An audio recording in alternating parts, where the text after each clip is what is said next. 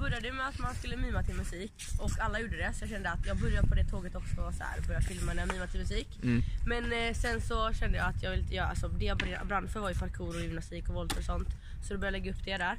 Eh, och sen så bara såg jag att jag fick massa likes och följare typ så jag fortsatte med det. Gå på nya grejer, gjorde volter i typ på ICA, in i affärer och sånt. Och så verkar folk gilla det. Sen så bara jag växte efter det.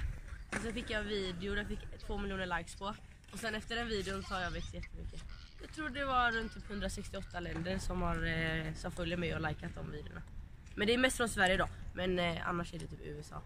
Jag har typ aldrig fått en hatkommentar i mitt liv. Så det är, så här, det är väldigt coolt att jag inte fått hat av någon. Inte ens i verkligheten eller någonting. Man måste alltid vara liksom udda och komma på något eh, alltså unikt som ingen annan har lagt ut. Alltså mitt mål med detta är att kunna leva på det liksom. Att jag alltså, filma och lägga upp videos och få andra och liksom vara sig själva.